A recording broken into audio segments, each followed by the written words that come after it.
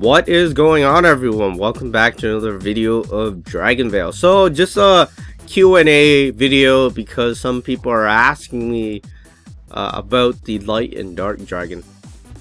Basically, uh, well, I'll go over what I know um, since the last video and now.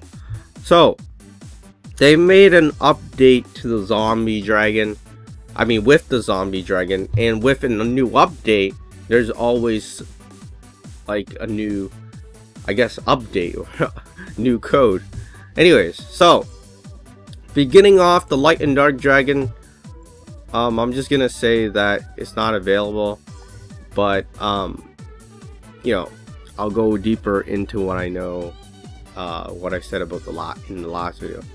But anyways so the light and dark dragons i people are asking what what side are you choosing? I'm choosing dark but you know after you're done uh, one element you can move on to next. You can do light after so you can have both.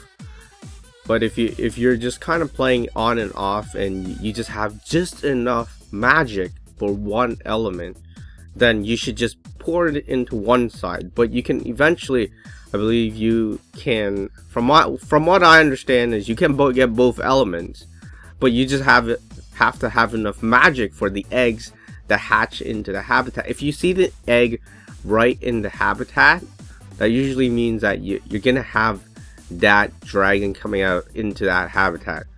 So anyways I'm starting off with the dark and then I'm gonna go into the light that's that's pretty much it for what I'm doing. Now more updates people are asking so uh, what's with the light and dark dragon? So I've checked up on it. There's not much changes. Everything is still like fix me.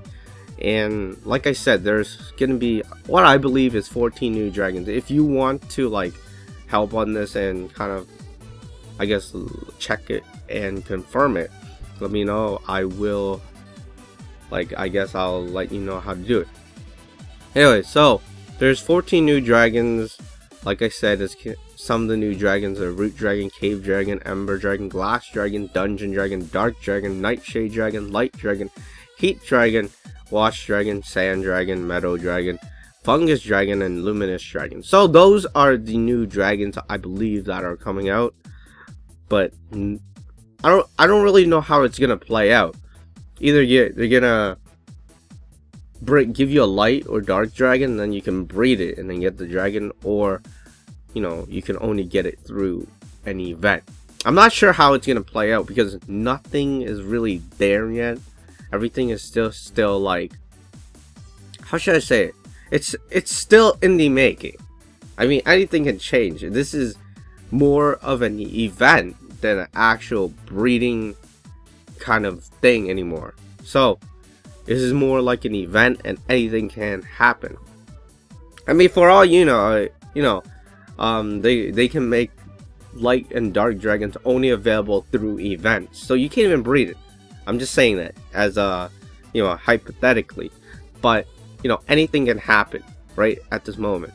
So that's pretty much it. I think that's all I got for this update.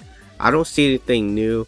If you do see anything new, let me know. And of course, the common question is, what happens when you fill up all the shrine, or I mean all the the light or dark section habitat?